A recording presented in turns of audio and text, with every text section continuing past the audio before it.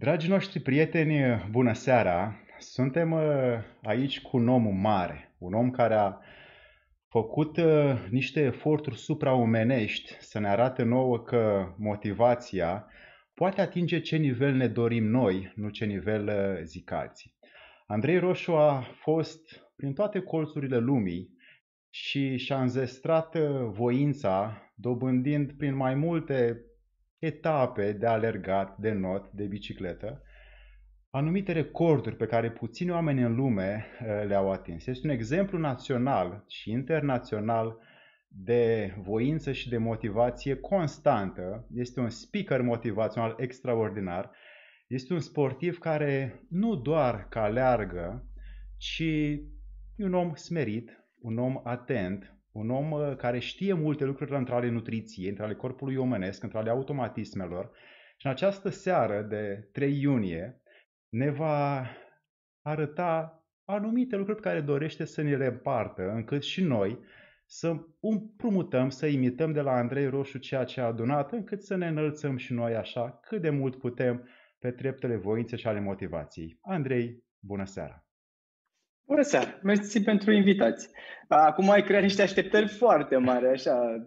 Sper să nu se aștepte oamenii ca în 30 de minute să primească așa lumina și să schimbe viața uh, radical, deși ce am observat este că viața se schimbă radical atunci când schimbi cursul cu 0,1%. N-ai nevoie să schimbi cu 180 de grade sau uh, mai mult. Deci de multe ori e suficient să ajustezi foarte puțin ceea ce faci parcursul unei zile sau știu, un obicei și în timp se transformă multe.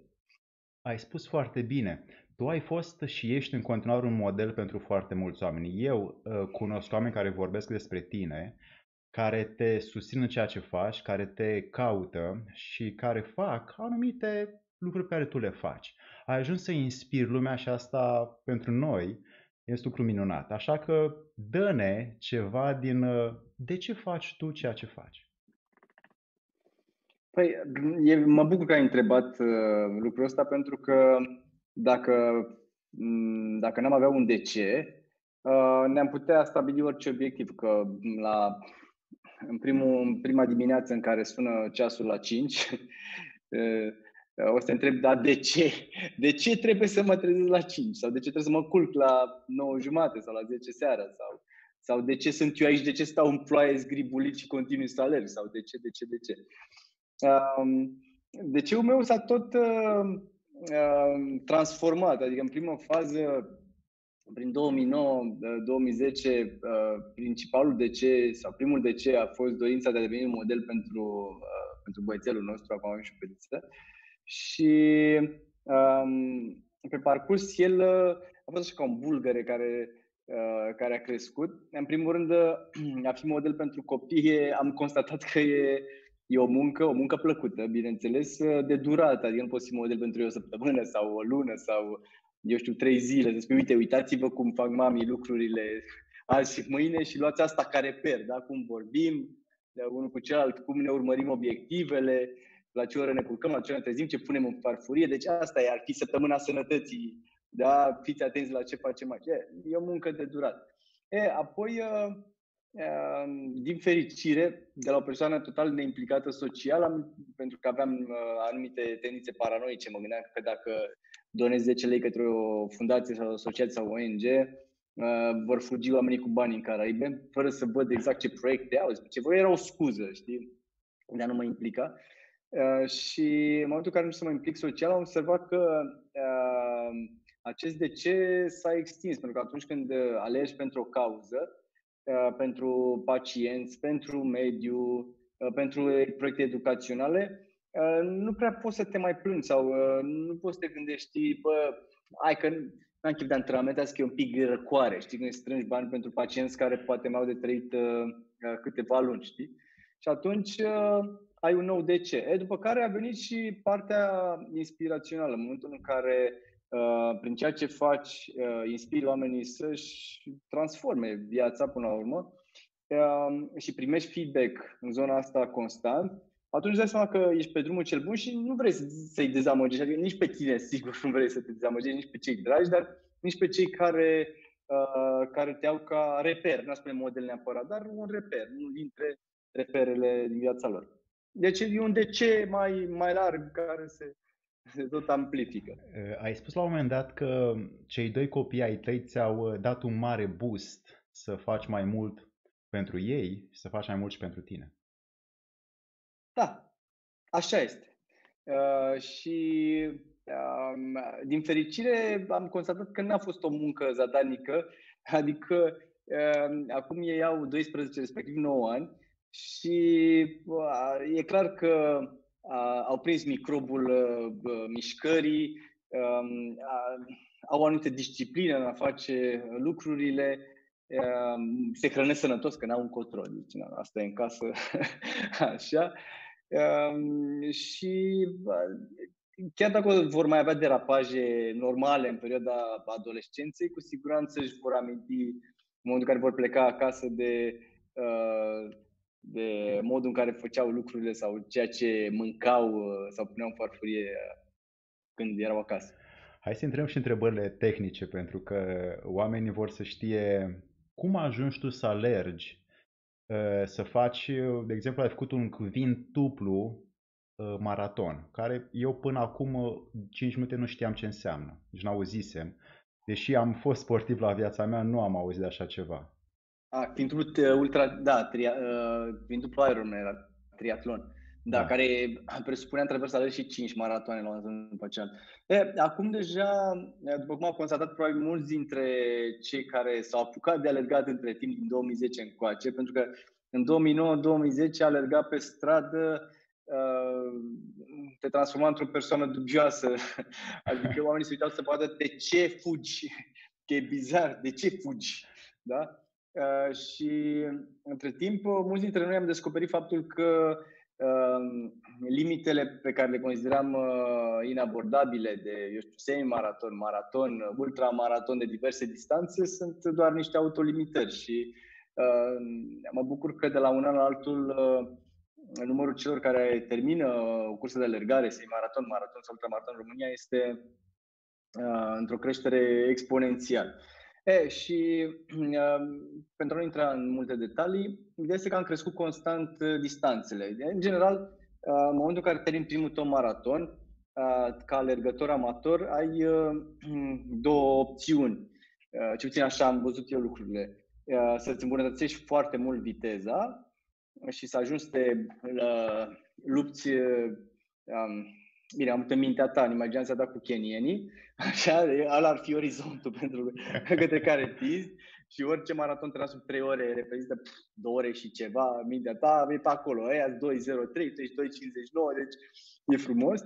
Așa, sau uh, să crești distanțele. Mie mi-a plăcut mai mult să crești distanțele, nu neapărat din dorința de a evita concurența neloială a dar am descoperit că în momentul în care alegi distanțe mari, um, încep să descoperi, scuze că repet ce descoperi, dar uh, văd ca pe o călătorie, încep să descoperi anumite lucruri în interiorul tău. Încep să ai uh, dialoguri cu uh, forul tău interior, uh, îți vin în minte tot felul de amintiri, ai de gestionat multe momente grele, începe să fie o proiecție a vieții, că viața până la urmă nu e nici sprint, nici maraton. E un ultra-maraton, ultra-ultra, giga, mega, hiper uh, maraton. Și uh, gestionezi foarte multe momente și antrenamentele sunt destul de uh, solicitante pentru ultramaraton pentru că uh, atunci când mergi la o cursă, chiar dacă e o cursă de 24 de ore sau de 10 zile, e o cursă. Știi că ești într-o cursă, ești mental acolo, ești foarte Uh, nu știu prea motivat, dar uh, știi că există o linie de finish, uh, știi că oamenii te urmăresc și ai altă energie, alt drive de a face lucrurile. Când ai, ai de bifat un antrenament, nu știu, iarna, 8 ore, să alergi de nebun, așa, poate pe un circuit de un kilometru, nu e nimic uh, spectaculos. Și atunci trebuie să găsești uh, niște metode de a... Da, să vă amintesc că mă antrenam uh, pentru ultra triatlonul ăsta, mă antrenam, știam că urma să stau vreo două zile jumate pe bicicletă și în afară de faptul că trebuia să mă obișnuiesc cu asele da, și fundul cu șeaua aia, Trebuia să mă obișnuiesc cu monotonia, pentru că am un circuit de vreo 3 km și atunci uh, închideam lumina în cameră, aveam bicicleta pe home trainer și pedalam în întuneric sau cu fața la perete, astfel încât să, în momentul în care uh, urma să ajung pe un circuit de 2-3 km, să mi se pară totul fantastic, așa ca Alice în țara minunilor.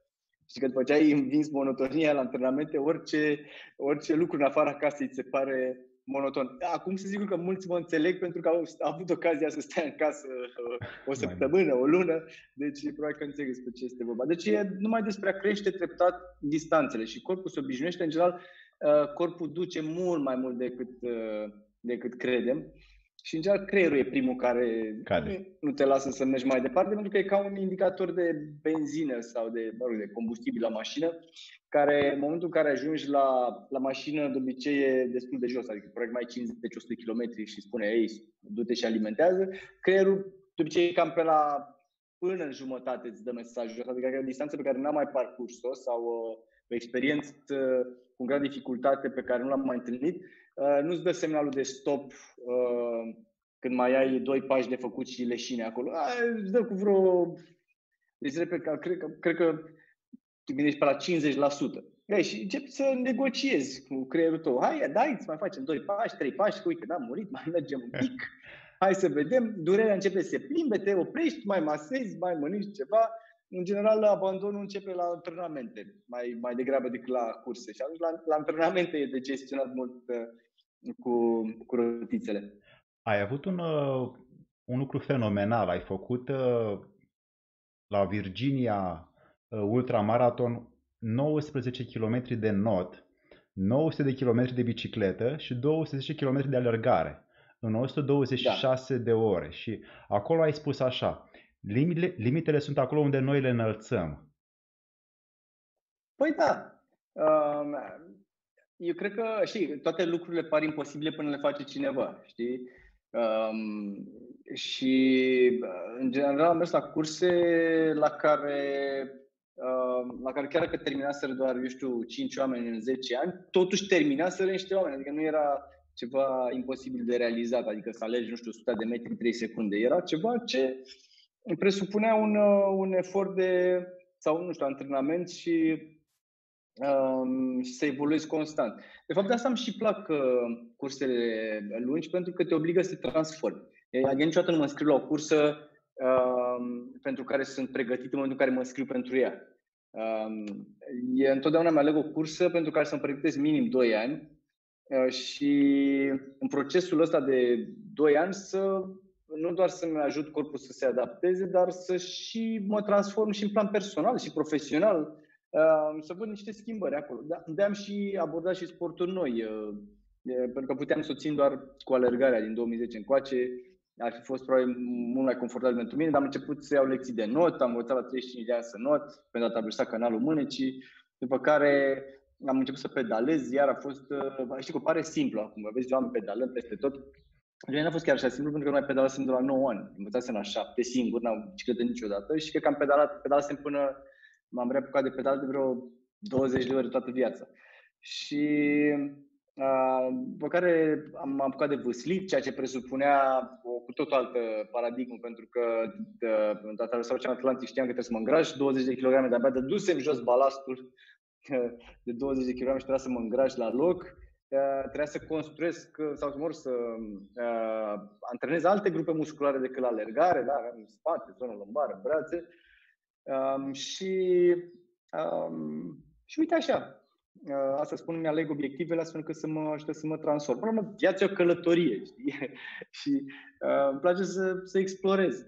Și în afara mea, și înăuntru meu, de fapt, toate evenimentele care aleg, chiar dacă mă ajută să explorez foarte mult. Uh, eu sunt în, uh, îmi place să spun că sunt uh, sportiv peisagist, așa, în general, orice sport practic să atent mai mult la Uh, în timpul zilei la ce se întâmplă în jurul meu. Prefer să pierd uh, timp, dar să fac niște poze sau să admir uh, peisajul. Iar noaptea, după cum au spus probabil mulți ultramaratoniști, se mută focusul, camera către interior. Da? Și atunci se întâmplă tot felul de lucruri. Apare și, sunt și halucinațiile pe care probabil le-au observat mulți ultramaratoniști după, mai ales după nopți nedormite, iar sunt niște momente pe care trebuie să le gestionez și mai departe. Acum nu mai știu de unde a plecat, nici scuze, am divagat așa. E, ne întreabă Violeta pe, pe YouTube dacă somnul de noapte de la 22 până la 05 dimineața este mai odihnitor decât cel la 12 noaptea până dimineața dacă te trezești mai târziu. I-am trăit ambele variante, mulți ani. Și adică care pentru tine a fost mai benefic? Mă trezeam... Uh, nu știu care sunt mai benefici. Am observat uh, uh, ce beneficii are trezitul de vreme. Asta în contextul în care te cuci de vreme, pentru că altfel nu reziști pe termen lung. Că practic tot 7 ore dormi, adică te cuci la 12, te la 7 sau te cuci la 10, te la 5, cu siguranță e cam același lucru. Uh, există câteva diferențe. În primul rând, dacă ai un DC care să te trezească fără, uh, fără alarmă. alarmă, contează enorm. Pentru că e ca atunci când uh, plecam în tabără, când eram mic, sau când pleci la mare în vacanță, da? sau când ai avion la 7 dimineața, să zic, uh, n-ai nevoie să pui ceasul și nu dai 20 de snuzuri, da? E, pleci în vacanță. Ah! Ești în picioare la orice copil, la 4 dimineața, 5 dimineața, nu contează, e în picioare dacă știi care de plecat în, uh, în vacanță. Asta o dată. Doi, um, un mare avantaj e că trezindu-te foarte devreme ai un avantaj psihologic uriaș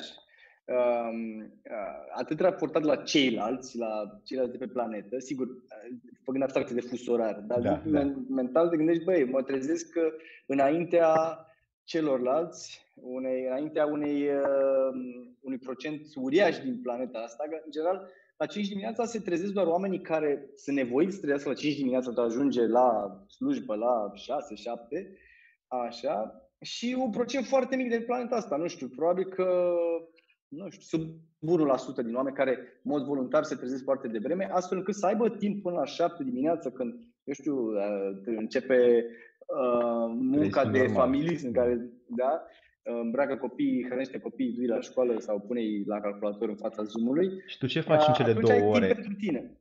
Tu ce faci în cele două ore? Antrenament. Antrenament, în special. Sau dacă este, um, o, dacă am uh, un proiect important și urgent și, eu știu, apărut din, uh, din senin și la bun sfârșit, prefer să lucrez.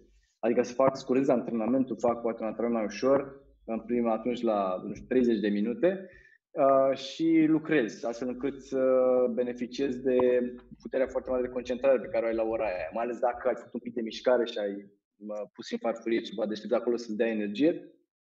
Uh, E clar că ești, noi ca ființe diurne, milioane de ani, funcționăm mai bine în prima parte a zilei decât la 12 noaptea. Chiar dacă ai liniște la 12 noaptea, n-ai, n-ai aceeași acuratețe și, nu știu, aceeași viziune a, a lucrurilor. Dacă se răspundă Violetei, cu siguranță e un somn mult mai bun uh, uh, înainte de 12 și asta nu spun doar eu, spun oameni de știință, pentru că atunci uh, ne ajută foarte mult uh, hormonul de creștere, are valoare foarte mare, mai ales dacă nu am mâncat mulți carbohidrați la, la cine sau nu a fost cina la 11 noaptea. Da?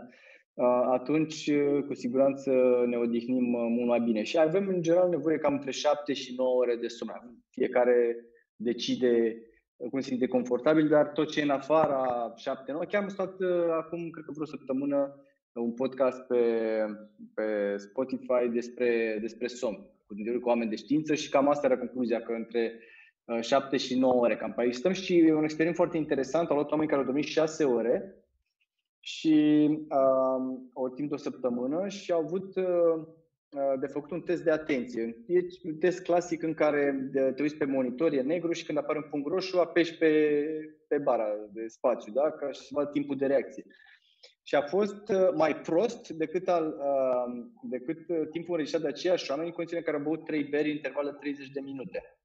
Okay. Încât să vadă, să vadă cum reacționează deci oboseală cronică versus alcool. Ceea ce e îngrijorător pentru că sunt mulți oameni care se urcă la volan uh, având uh, un deficit de, uh, de somn. Da, da. Deci asta e că undeva, eu cu șapte ore mă simt excelent, mai ales dacă faci sport, nu ai nevoie de atât de mult somn. Asta e un lucru, asta e iar un lucru pe care îl, uh, o să-l observ. Practic se oxigenează uh, corpul mai bine uh, și creierul și a, se aerisește mai mult și nu mai ai nevoie de, de atât de mult somn. Dragule, cum este pentru tine când limitele fizice nu te mai duc și corpul nu mai poate. Ce faci în clipa aia mental ca să ducă, duci corpul mai departe la linia de, de final? Uh, acum aș vrea să pozez într-o, nu știu, sau să am o poveste în care spun, băi, n-am mai putut. Deci n-am mai putut. S-a blocat, s-a blocat aici, aici, aici, aici, aici. Așa și n-am mai putut și a, a trebuit să mă târei și să am fig așa o gheruță, să-mi las uh, o unghie la degetul mic și să fac așa cu ea și să mă mai trag un metru, dar n-am avut situații astea, pentru că uh, încerc acum să explic. Uh, deci, cred, nu știu, încerc să, să-mi dau seama de ce s-a întâmplat asta. În primul rând, n-am abandonat nicio cursă. Deci am fost peste 100 de concursuri de toate felurile posibile în ăștia 10 ani. Am dat întreabă pe toate. Um, în general, mă pregătesc bine pentru ele, adică prefer să mă tăresc, cum așa, la antrenamente, dar uh, să mă duc la, la concurs într-un confort destul de bun. De asemenea, n-am tras niciodată pentru mine a fost atât important să termin cursa, o cursă pe locul 1 sau, uh, eu știu, cum laude sau să dobor un record mondial de viteză. Uh, pentru mine a fost important să, să o termin uh, și totdeauna mi-am lăsat un 10%, 20%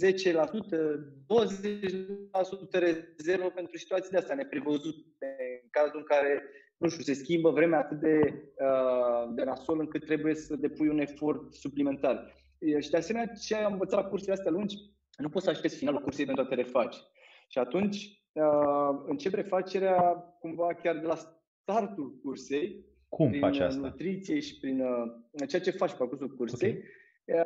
Uh, în felul ăsta, ce anume, îți faci un plan. Uh, în primul rând, creierul nu mai funcționează. Dacă tu îți imaginezi că uh, poți să spui că fac 2 plus 3 ori 2 după vreo 12 ore de alerg, da, apoi să te mai gândești tu, știi, la fiecare 45 de minute trebuie să ronțăi nu știu ce, sau, la, uh, sau trebuie să beau atâta apă. La... Și atunci trebuie să ai un plan foarte bine pus la punct uh, pe care să respecti. De obicei, uh, nu ți-e foame, nu ți-e sete și uh, tendința este hai să mai aștept un pic până la următorul punct de hidratare, până nu știu unde. Uh, ceea ce în momentul ăla încep să, să declin. Și atunci trebuie să fii Uh, foarte organizat până la maniac, până a respecta uh, planul de hidratare, planul de nutriție, plan de somn, dacă, de exemplu, ai o cursă de 40 de zile sau de 20 de zile sau de 10 zile sau de 5 zile în care știi că ai de dormit, nu știu, pe zi 2 ore sau 30 de minute sau 90 de minute sau cum îți faci planul de somn, trebuie să respecti. Chiar că nu ți-e somn în momentul ăla, ok, te oprești, nu știu, faci un pic de stretching, te întinzi. Uh, deci asta este Uh, să respecti foarte, uh, foarte bine niște plane. De multe ori ai și echipă de suport. Uh, și ce interesant că totdeauna vorbeam cu echipa și spuneam, băi, chiar că eu spun când ajung la, nu știu, sunt pe circuit, la tura 6, dacă eu zic, bă, nu vreau, nu am chef să beau, nu am chef să mănânc 5 bobe strugure, stai pe, mă ții acolo, mă legi dacă e nevoie, da? Patru mă țin și unul îmi bagă cu forța ca la curcan. Pentru că știu că altfel, altfel Probele nu sunt totdeauna probe de nutriție, sunt probe de, de altceva, sunt probe logistice. Uh, cred că cele mai grele curse din viața mea au fost cele la care uh, a fost greu să ajung la start. Atât ca pregătire fizică, cât și logistică, adică să îndeplinesc tot ceea ce cereau organizatorii. Alea, uh, acolo e practic frumusețea.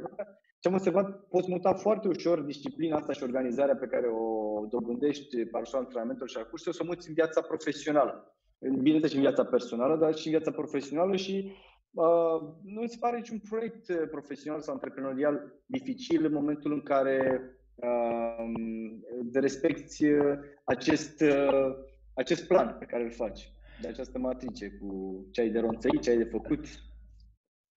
Deci, cumva, această strictețe a planului te duce să termin cursa.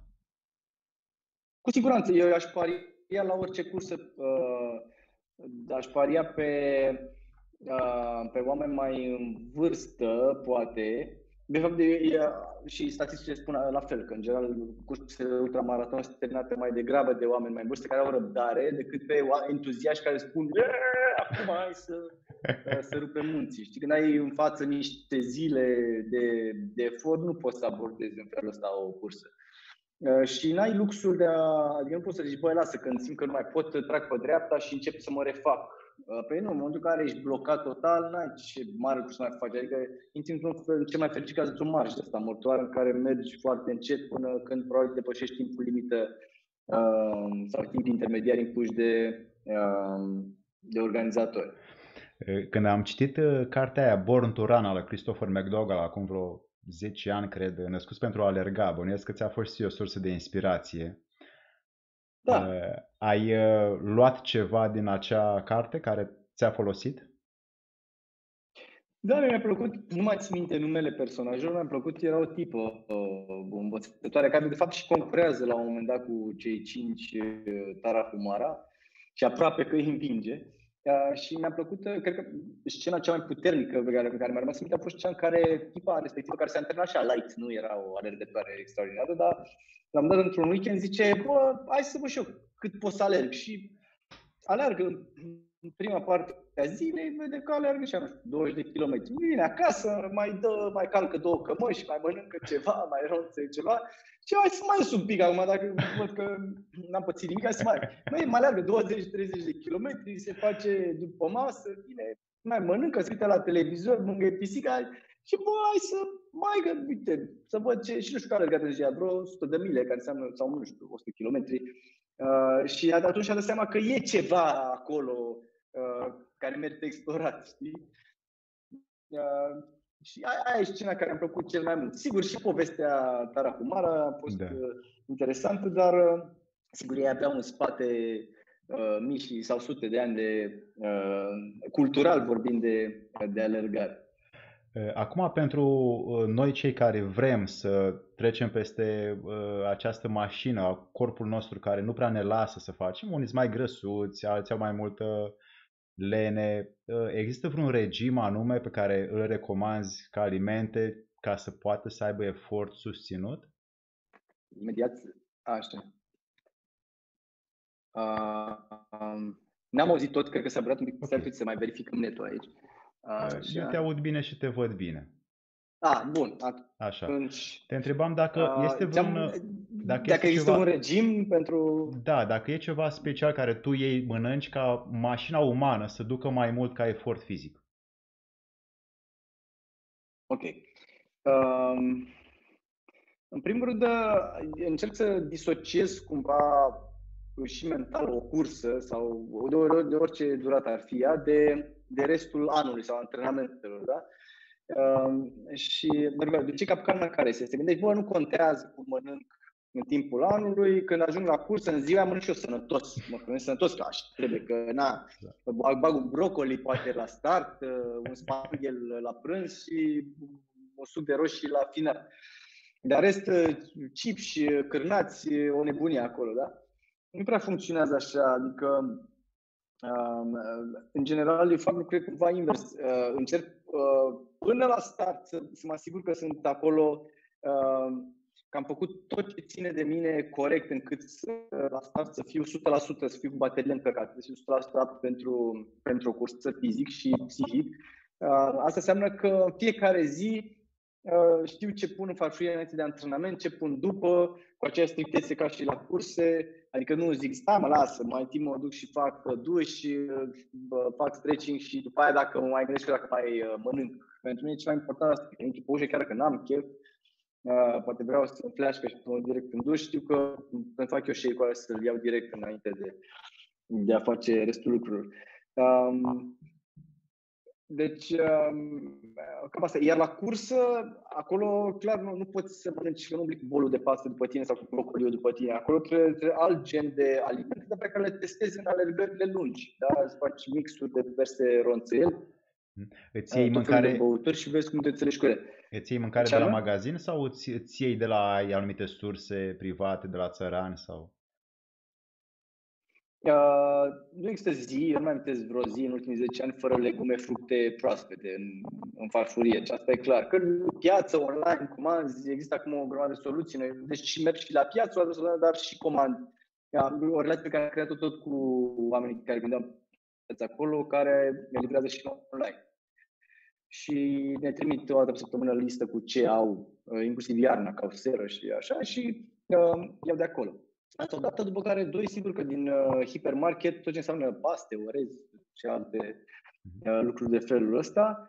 Um, în rest, acum ca să răspund la întrebare, să ne întoarcem la întrebare dacă există vreun hack, așa, o șmecherie, o, o aliment minune pe care să incluzi în alimentația ta pentru a scădea în greutate sau pentru a...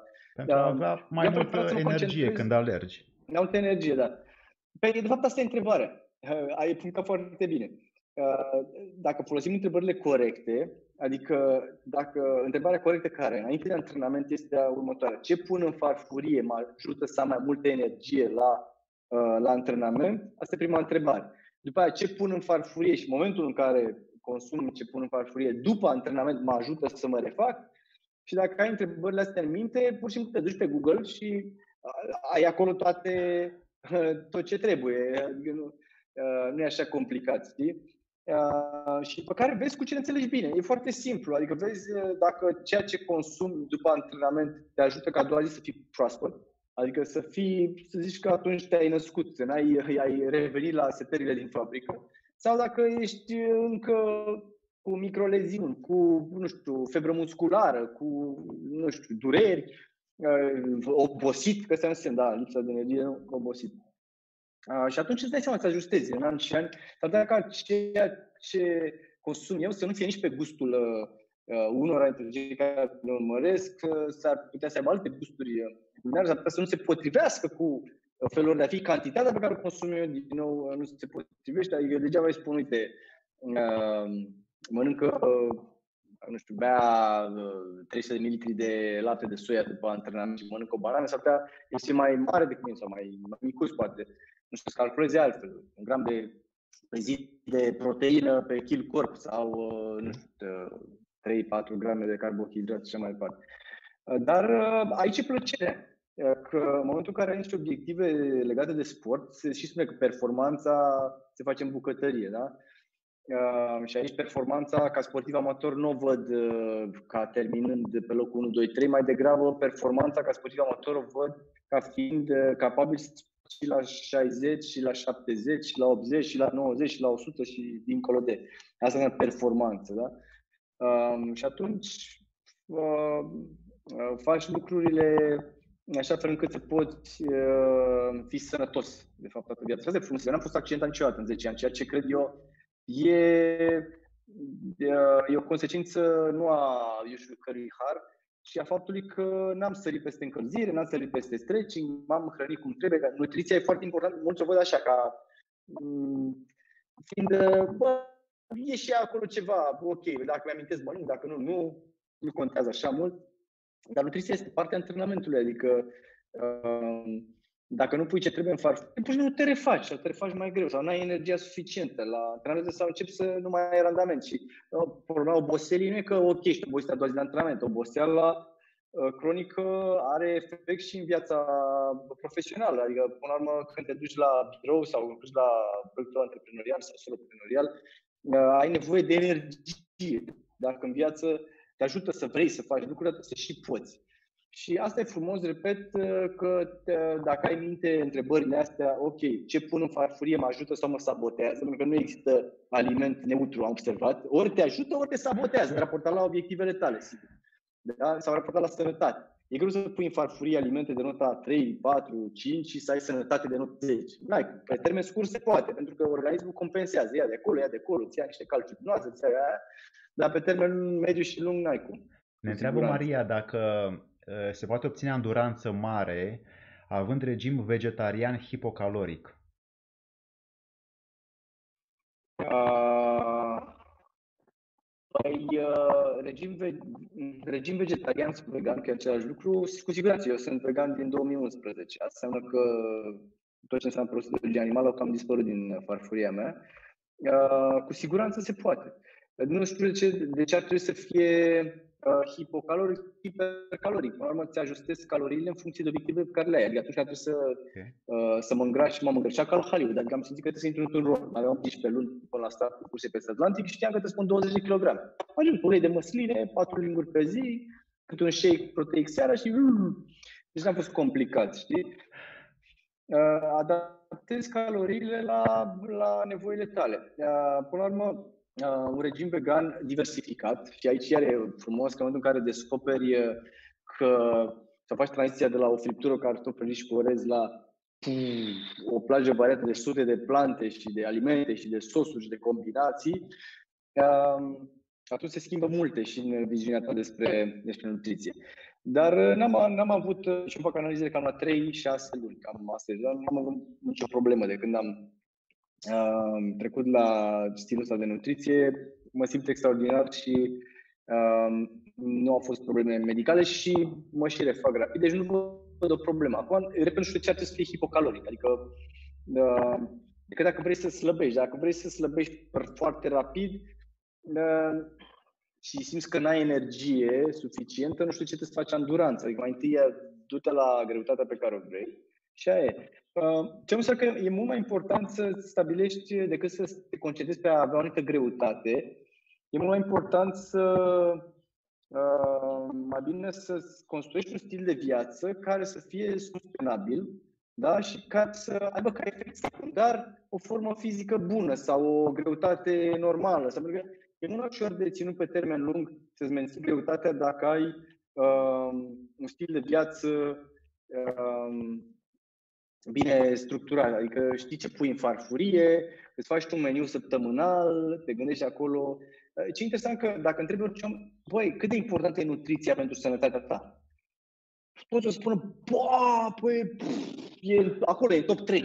Adică împreună cu, la pachet cu hidratarea, cu um, gestionarea stresului, cu, eu știu, atitudine, etc. Da, da. Dar e acolo, e în top 3. Bun, și zic, cât timp aloci tu Că, din păcate, în școală nici eu, nici tu, nici uh, cei de vârsta noastră, adică mai ar merg pe 60 în curând, peste 16 ani, uh, nu au avut parte de cursuri de nutriție sau nici nu au avut parte de uh, părinți care, uh, eu știu, să ne ajute prin obiceiurile pe care ne le lasă. Da? Cultural, la aia se mâncă. Da? Uh, deci cât timp alocăm da? pentru nutriție? Uh, asta nu înseamnă să stai 24 de ore pe zi butonând sau gătind uh, slow cooking 6 ore pe zi. Că e clar că n-ai, nu avem confortul ăsta, dar măcar să dedici la un moment dat, bă, stai câteva zile, intri pe niște site-uri sau faci niște cursuri să vezi, bă, cum trebuie să mă hrănesc sănătos sau citești două cărți. Și zi de acolo ceea ce ți potrivește. Dacă ce la mănâncă, nu știu, durian sau eu știu ce fructe de astea care nu se găsesc la noi, cauți ceva mai adaptat local, da? Și te gândești niște principii. Bă, câte, sau uite, stat, acum tehnologia de simplă că ai să site-uri, eu folosesc Nutrițio și Check Your Food, în care uh, îți faci un jurnal alimentar, o zi, două, trei, și spune acolo ca la, cum spune o glinda în față așa, și dacă crezi cu glinda de, de bună, încă nu e ca la, știi, la parcul de distracții să te facă așa sau așa. Nu, spune exact, bă, uite, tu asta, dacă mănânci asta în fiecare zi sau în astea trei zile mâncat asta, rezultatele sunt astea, adică tu ai tu atât aduci în corpul tău, care poate fi mai mult sau mai puțin în de calorii, mai mult sau mai puțin în de carbohidrați, proteine, lipide, da? sau apă, sau micronutrienți, sau minerale, vitamine, sau, eu știu, alte fitochimicale pe acolo și ai deficitul ăsta, ăsta, ăsta, ăsta. Dacă tu vei continua să mănânci asta, și de, de cele mai multe ori noi repetăm Uh, nu doar că repetăm aceea zi de mii de ori ca agenda de lucru, dar și ce punem în farfurie repetăm, că am niște gusturi și destul de fixe. Adică place pizza, mănânce fiecare zi la birou acolo, toate aia. Da? Și atunci tu zici aplicația, bă, dacă tu continui să așa, ca, carențele astea o să-ți dea așa, în 2 ani diabet, în 3 ani anemie, în a, da? Și atunci ajută din când în când să faci, să faci exercițiul ăsta de a avea un jurnal alimentar, să vezi exact ce pui, ce trebuie să pui în farfurie până să faci nici obicei. De exemplu, am același dimineața, același mic dejun de 2010. Eu știu. Ce mănânci? Același, același, același, cu mici variații de sezon, dar structura lui e aceeași. Este un shake, eu l-am găsit o casă căutând, când făceam diversificarea pentru Alex, într-o carte de uh, cu rețete pentru copii, era ceva care se numea mic dejunul leneșului. Se chema așa pentru că, practic, punea acolo tot ce ai nevoie, nutrițional, pentru că, știi, corpul nostru are nevoie de, de principii nutritive din, din morcov sau din... nu are nevoie de salat într-un anumit fel. Eu, și el și ce are nevoie pe acolo, da? Și băgai în blender tot ce era nevoie, sigur, pentru un copil, făceai da? Și da? Deci era leneșului și pentru bucătar și pentru copil, da? Așa. Că nu are stecat acolo, da? Și atunci am zis, bă, e clar că asta ar fi o variantă. Și m-am gândit ce pot să pun eu în shake-ul ăla și cât să pun, astfel încât să, uh, să mă refac foarte repede după antrenament și nici să nu chiței de foame după 10 minute, da? Și atunci am zis, ok, am găsit, e, uh, pun lapte vegetal, de, de soia preferabil, că e singurul lapte vegetal care chiar aduce niște lucruri bune acolo, nu doar apă goală. Um, sigur, mai e și cel de migdale, dar acolo chiar trebuie să fie făcut bine, nu de ăsta în care 0,1% migdale și adică ori ți faci singur, ori să o sursă bună. Așa. Uh, după care pun, am, am, am două congelatoare. Unul e totdeauna plin cu fructe de pădure, amestecate. Adică fac toamna okay. Uh, turul de onoare pe marginea drumului. Așa, așa și am început cătină, da, cătină, aptine, Mare lucru. mure, tot acolo. Le amestec în niște, le pun niște cutii mari, uh, direct amestecat, că nu stau dimineața să deschid uh, cutiuța cu cătină, cutiuța cu aia, cu aia că nebune, da? Și atunci le-am, da, le bag acolo. Acum se găsește la supermarketuri, adică ai mix și destul de ieftin, nu poți cădea bere pe niște fructe de pădure. Iar acolo ai la orice oră când uh, intri pe Google și dai un search a beneficiile fructelor de pădure, vezi acolo tot ce înseamnă uh, minerale, vitamine și uh, tot felul de uh, uh, am un laps acum, dar de, de vitamine.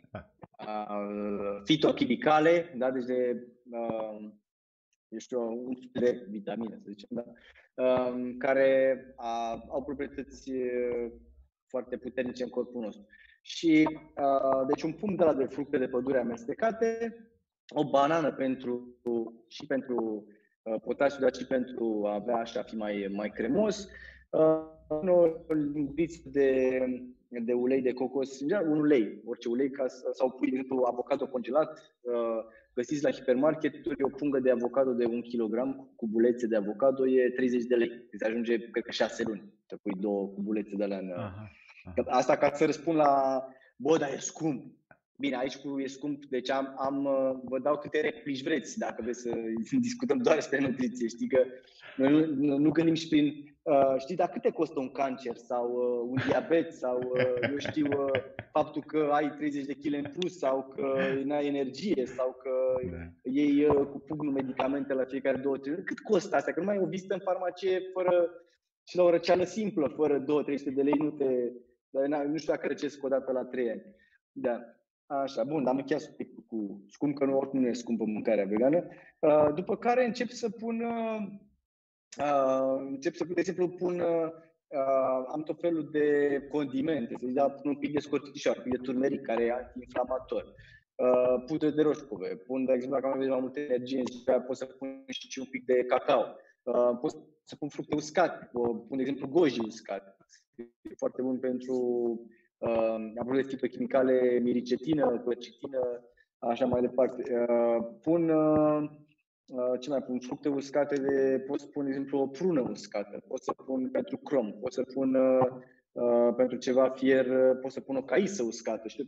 Pun două, două nuși braziliene pentru seleniu, care e doza, mai mult decât doza zilnică de seleniu. Deci ai nevoie să pui uh, multe, dar să pui uh, din fiecare câte un pic astfel încât, a, și mai pun cimbru uscat pentru fier, cu două limburi. Așa, dacă ai pune într-o salată, s-ar simți nasol, dar într-un shake de genul ăsta se mai simte.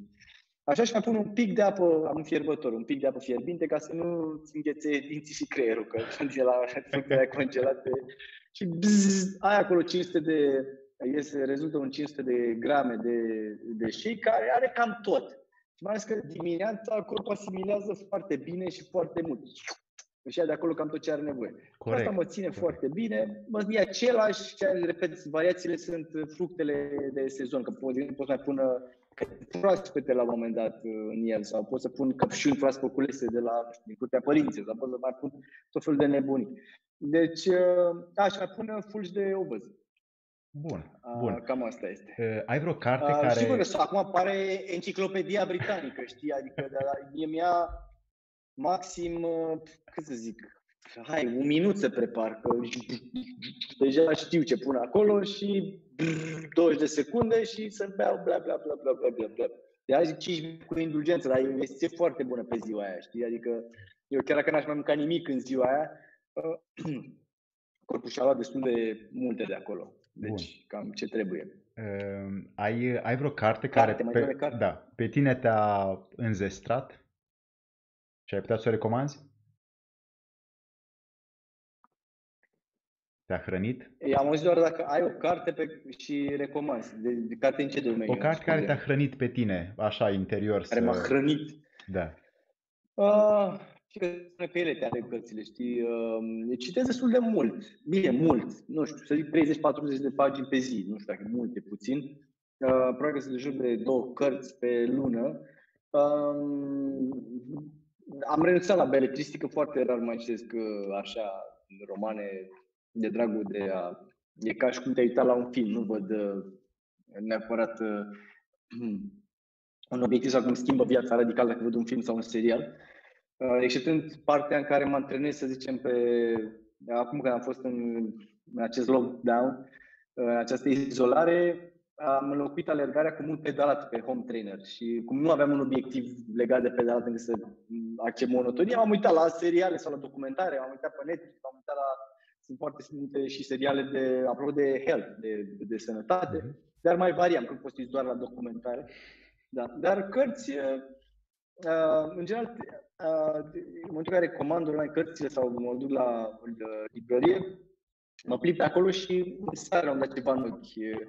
Și răspui dacă mi se pare interesant o iau. Zic, nu știu, poate fi alimentație pentru sportivi, sau poate fi cum ne păstrăm sănătatea creierului, sau cum, uh, nu știu, noi tendințe în marketing sau uh, tot felul de, de cărți. Sau, sau cărți care să-ți provoace să spună întrebări, da? cum a fost uh, uh, Sapiens sau Deus sau uh, tot felul de, de astfel de cărți sau de ce eșuează națiunile. Mi s-a părut o carte fantastică, dar mare rău, ai 700 de pagini, dar uh, și aceeași idee pe care o rumegă și o argumentează.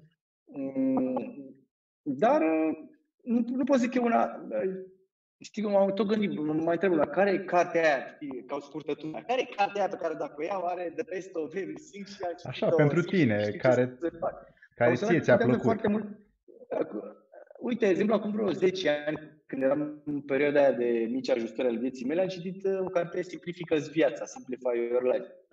Și acolo erau niște erau sfaturi așa ca pentru copii, ca pentru tâmpiți, cum eram eu pe vremea aia, în care zicea, bă, fă ordine pe birou și zicea, de ce? Uite că Uh, se mișcă rotițele altfel când în jurul tău e, uh, e ordine, da? Sau fă și tu o agenduță acolo, fă de seara, ca a doua zi dimineață să știi ce ai de făcut și să nu începi ziua cu gândindu-te ce ai de făcut, știi, și să facă prânz.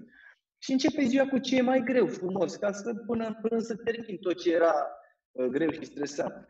Să fie ziua mai liberă după aia. Sau, sau, sau sfaturi astea, cum să-ți faci ordine în uh, dulap sau cum să uh, relația, relațiile sociale, relația cu familia, cu copiii, cu părinții, cu, uh, deci tot felul de lucruri simple care m-au ajutat, dar m-au ajutat pentru că le-am aplicat. Că altfel am stat, uh, uh, venit și din mediul corporatist, am lucrat 15 ani, uh, până prin 2010 participasem la vreo 30 de traininguri, dar se întâmpla în felul următor. Uh, uh, mergeam la un training, prima barieră era, bă, vreau să-mi uh, uh, spele creierul, de parcă venisem din facultate și de acasă, așa, cu viziune macro și setat așa extraordinar. Și repuzeam chiar să pus formule de Excel sau lucruri simple, știi că respingeam ideea.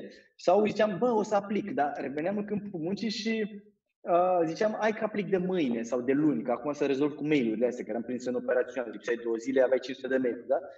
Și bineînțeles că se dilua knowledge și până începeai să aplici la revedere, da? Și am să că mai bine, și în orice carte aș citi, aplic măcar un lucru, unul. Zic, bă, din carte și subliniez fără milă, pe cărți n-am nicio apăsare. Adică, uh, și uh, un lucru care mi-a rămas în minte, da? Ăla, și îl aplic. Hai să văd, funcționează, dar ăla poate e ceva care trebuie aplicat uh, constant, nu știu, poate o săptămână sau 20 de zile sau 30 de zile, hai să vedem. Da? sau nu știu, începe ziua, în loc de cafea sau țigări, sau începe un par de apă de 400 ml cu o jumătate de lămâie. Hai să vedem ce se întâmplă dacă consumă asta o lună întreagă, da? Și știu că ne avem gândirea asta, bă, dacă ar fi așa simplu, toată lumea ar fi sănătoasă, ar fi milionară, ar fi aia, aia, aia, știi? Dar nu ești dispus să, să aplici, știi? Am încearcă. Eu n-am auzit pe nimeni care să zică, bă, Andrei, te-am ascultat la vreo 5 ani la TED sau știu, știu și m-am trezit și eu la 5 dimineața, un an de zile, da? Și am, făcut, am început ziua cu sport și m-am hrănit sănătos. și am uh, alergat un maraton și eu știu ce am mai făcut acolo. Băi, și după un an nu s-a schimbat nimic în viața mea. Deci sunt la fel de deprimat, sunt cu aceleași chile. Uh, adică, deci n-am mai pe nimeni uh, care să fie în zona asta, din potrivă. Apăreau schimbări chiar și fără obiective majore. Deci un obiectiv Uh, suficient un maraton. Dacă ai ca obiectiv un maraton și ai uh, lucrezi 4-5 luni la un obiectiv de felul ăsta, cu siguranță se schimbă multe în viața ta. Adică n-am întâlnit, n-am întâlnit alergători de primat până acum, să arăt. Dacă e unul, în afară de depresia aia de a doua zi de un maraton când uh, nu mai ai o cursă la orizont, dar asta se rezolvă simplu, îți alegi cursa înainte să alegi maraton, cursa viitoare. Deci n-am întâlnit de oameni deprimați care încep ziua cu sport, se hrănesc Acum fac o paranteză și e important pentru că e una dintre filozofiile mele de viață. Um,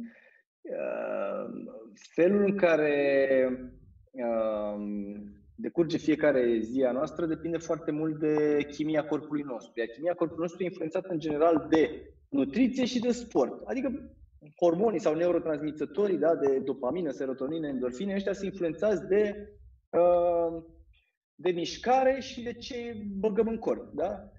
Uh, dacă astea două sunt la sportul și nutriția la cote ok, n-ai cum să fii lipsit de energie, n-ai cum să fii trist, uh, că până urmă suntem în același context toți sau, uh, eu știu, evenimentele sunt la fel pentru toți, dar e vorba de ce alegi să vezi odată și doi de cum care e chimia corpului. Atunci când ești îndrăgostit sau când ești într-o stare extraordinară, nu te deranjează că poate spune unul ceva sau poate că e, nu știu, a aruncat unul un chiștoc pe stradă, sigur. Uh, dar, uh, sau vezi tu partea mai, uh, știi, mai roza a lucrurilor. Comunici mai ușor, mai bine cu oamenii, dar uh, când ești, te dor toate, că nu faci sport, că scârții, scârții articulațiile, că uh, ai, ai depresie, e greu, ce, normal că e greu să, să ai zile frumoase, nu? Și atunci e... chimia. Lucrăm cu chimia corpului. Asta, așa trebuie să avem minte, știi? E, e până te obișnuiești, pentru că nu e o muncă de sisif, să stai uh, de dimineață până seara să te gândești, să analizezi, să calculezi calorii, să știu ce să faci. E vorba de a te obișnui, așa cum te obișnui cu shawarma și cu pizza și cu nu știu ce, te obișnuiești cu alt fel de alimente și bă, ce te-ai obișnuit cu ele, lucrurile merg de la sine, știi automat ce, ce cumperi, ce... Mi-a plăcut mm. foarte mult uh, la tine că ești promotorul acestei idei, să ieși de pe canapea și să faci sport. Da, eu cred că fiecare dintre noi are canapeaua lui. Sigur că mulți o văd așa, adică nu neapărat dat litera am vorbit acum pe pe canapea, deși pentru mine a fost important asta, să mă ridic în fața televizorului în 2009, unde stăteam lipit și era model. Era clar că voi ajunge așa și filme așa, că de obicei ne moștenim obiceiurile, nu neapărat uh, gena. Um, dar uh, fiecare dintre noi are canapeaua lui, are Everest lui, are Atlanticul lui, are canalul Mânecii personal, adică uh, în momentul în care te-ai ridicat de pe canapea, ai zis, bă, până aici da, până aici. A fost gata, mi-a ajuns de aici, vreau să transform viața și să-mi descoper Everestul sau să urc. Lucrurile sunt destul de simple, adică din momentul ăla uh, începi să faci ajustări în viața ta, începi să faci ordine în, uh, în obiceiurile pe care le ai, că până la urmă noi suntem suma obiceiurilor, da? în fiecare zi, cred că 80% din ce facem se repetă de la o zi la alta, da? obiceiuri. Faci ordine în obiceiuri, și um, nu mai ai, uh, nu mai pui prea multe întrebări sau nu, nu mai să ce zic alții, că bă, noi avem frica asta de, uh, care e normal, vine de la omul ancestral în care te temeai să fii diferit de tribul tău, că dacă aveai opinii diferite, radicale, te punea un pic în afara tribului și nu aveai șanse mari de supraviețuire. Și atunci am rămas cu blocajul ăsta. Bă, știi ce o să zic ăla, ăla, ăla, dar e păcat, adică ai o viață, și uh, e păcat că la final vieții să spun, bă, aș fi putut să fac mai mult, să devin mai mult, să am mai mult sau să fiu altceva, să am altceva. Dar m-am gândit ce, ce o să zică familia, ce o să zică prietenii, ce colegii, dacă mă văd pe mine alergând cu 20 de kg în plus, Hamlet în mizerie, în colanția strânți, dacă nu știu ce o să se întâmple, dacă, dacă, dacă, dacă. Și atunci începi, de fapt, să ai ownership, să ai responsabilitatea vieții tale. Asta cred că e și să atunci ai sentimentul de control al vieții tale când ai responsabilitate. Și cred că ăsta e un semn de maturitate. Am zis că sunt adult cu adevărat în momentul în care n-am mai plasat vina în exterior. N-am mai zis, bă, pentru felul în care sunt eu acum e de vină guvernul, de vină corporațiile, de vină, nu știu, comuniștii, Ceaușescu, pace, nu știu ce. Bă, eu sunt ăla, bă, eu am mâncat ca porcul, bă, eram nesimțit, da? Sau poate, nu știu, compulsiv, îmi dădeam recompense uh, la final de zi, da? Mâncam emoțional, da? Dar, bă, eu, eu, nu m-a interesat, n-am zis la un moment dat stop, să zic, bă, hai mă să, uh, să mă opresc sau hai să mănânc mai puțin, hai să mănânc jumate decât mănânc sau să fac mișcare. Sau... Deci până nu-ți iei uh, viața în brațe și zici, băi, hai să, să fac ceea ce ține de bine, ăla 0,01% pe care îl pot controla, după nu se schimbă prea mult. Adică făcând zi de zi același lucru, e clar că rezultatul este la fel. Uh, mă uit la cei care vor să facă schimbări da? Și fac câteva zile, nu reușesc și după aia revin la mhm. obiceiurile proaste. Ce sugestii ai pentru acești oameni? În primul rând, ideea e greșită. Ideea de a face schimbări e... Uh, și că schimbarea este temporară. Știi că lupul schimbă părul, da? Schimbarea, în general, e... Știi când apar schimbări? Ori îl faci de gura cuiva, Știi? Și știi că dacă faci două, trei zile te porți altfel, se liniștește, știi, ca mama. Da, fac, fac, fac curat, da, fac curat în cameră, se liniștea mama, da? Faci o dată, faci două ori, dar nu ești tu ăla care... Da, așa. Uh, în general, ajută foarte mult să vizezi sau să dăm transformare. Mult mai, e, ce transformare? Un exemplu pe care îl dau uh, destul de des pentru că îmi place și vizual e uh, felul în care se transformă sau în care evoluează larva în fluture. Da? Deci în momentul în care uh, se transformă acolo din o mită, larvă, fluture, nebunia aia, uh, niciodată fluturile nu mai revin în stadiile anterioare, de larvă sau de omită sau eu știu ce uh, faze mai are pe acolo, da, de cucun. Um, cred că asta ar trebui să vizăm și noi. Să spunem, bă, dacă știi că nu mă critică nimeni sau dacă aș avea resurse nelimitate sau dacă vor fi de timp, de bani, de whatever, uh, ce aș face diferit de ce fac astăzi, da? Și cum ajung eu acolo, la, cum am propus, cum arată o zi ideală din viața mea, da? Că până la urmă să ne gândim dacă vrem să repetăm ziua de azi, da? Sau vrem să repetăm altceva, da? Asta se bază viața, o sumă de zile, da? Și atunci dacă avem uh, niște răspunsuri destul de clare și vizăm transformarea, ne gândim cum ajungem acolo. Pe ca să ajungi acolo, totdeauna ca să, uh, ca să ai altceva, să arate altfel viața ta, trebuie să devii, cu siguranță să devii altceva, altcineva capabil să, să îndeplinească uh, visurile alea. Iar ca să devii altceva, trebuie să faci ceva diferit de ce ai făcut până acum. Și atunci e simplu, te duci pe Google așa și zici, bă, ca să ajung în punctul Z pe care mi-am propus, poate trebuie să fiu mai disciplinat sau poate să fiu mai ordonat sau poate să... Um, eu cred că autodisciplina este rădăcina tuturor lucrurilor, de acolo pleacă cam toate. Uh, știu că sună militărește, te gândești, bă, disciplină e, când e impusă de af- din afară, într-adevăr, coercitiv te gândești că e ceva militar și îți repet, mai ales dacă una dintre valorile tale principale este libertatea, cum e cazul meu. Mai că până nu ești foarte disciplinat, veni din interior, uh, nu poți fi nici liber, da? nu poți să ai libertatea de mișcare pe corpul tău într-un anumit fel, nu poți să ai uh, libertatea asta departe de spital, pentru că da, mai fumezi, mai și am fumat 16 ani, știu cum e, de să nu aud comentarii pe aici. Uh, Uh, nu poți să ai libertatea de a călători unde vrei, nu poți să ai libertatea de a face ce vrei, nu poți să ai libertatea de a duce proiectele pe care vrei la bun sfârșit și așa mai departe. Deci disciplina aia care te ajută de fapt să dai jos de pat dimineața, să faci ceea ce ți-ai propus, sau chestia aia două, trei din ziua aia, că alea te duc mai departe. Nu ai să faci 400 de chestii într-o zi, ai nevoie să faci două de alea importante, da? Disciplina te duce mai, uh, mai departe. Deci asta, repet, mai bine vizăm transformarea decât schimbarea. Că dacă te-ai transformat, nu mai trebuie cu kilograme plus, cu, eu știu, multe altele, cu sănătatea, cu... Pentru că, în general, ce pui în farfurie, ajunge în corp și carențele pe care le ai în farfurie le ai și în sânge și în analizele și pe care le ai și așa mai departe. Uh, Andrei, ești un uh, om care trebuie urmat pentru că acest proces de transformare noi l-am pierdut. Noi doar vrem să facem schimbări fără să transformăm din această larvă într-un fluture sau într-o pasăre care poate să aibă libertatea să zboare oriunde. Și pentru noi, dragi prieteni, uite, urmărim aici un om care a făcut multe pentru România și a purtat steagul nostru peste multe hotare. Uh, intrați pe andreiroșu.org și pe 42 caroșu pentru că sunt două.ro sunt două proiecte pe care Andrei le susține și vă poate uh, ajuta să vedeți altfel, să primiți altceva, să vă transformați în ce mod vreți voi și să luați o cunoaștere strânsă dintr-o motivație uriașă din acest om care este Andrei Roșu. Andrei, îți mulțumim foarte mult pentru a ta generozitate și te vom mai uh, apela ca să ne mai dai.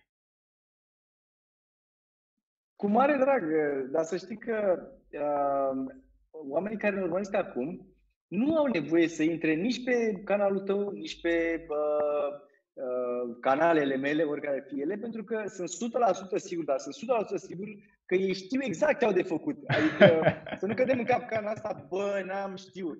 Dacă oprim acum 100 de oameni pe stradă și bă, ce trebuie să faci pentru a fi sănătos?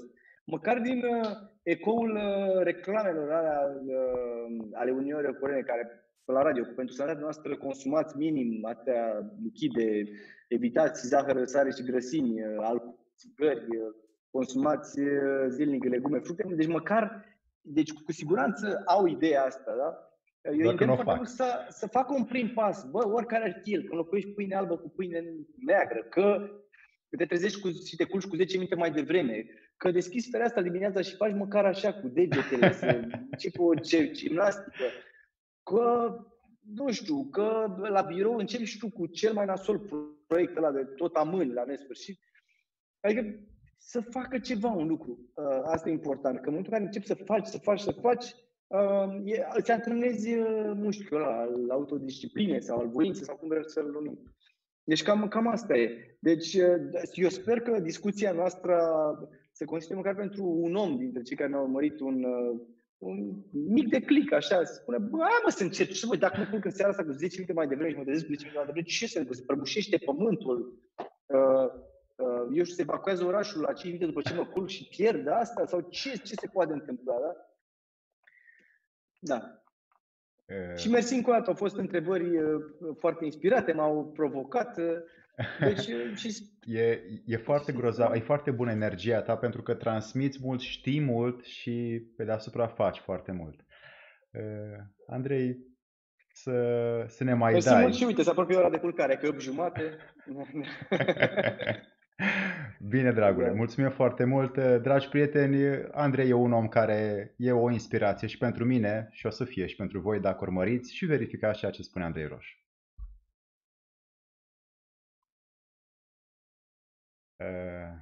Stai puțin. Gata, am închis uh, YouTube-ul.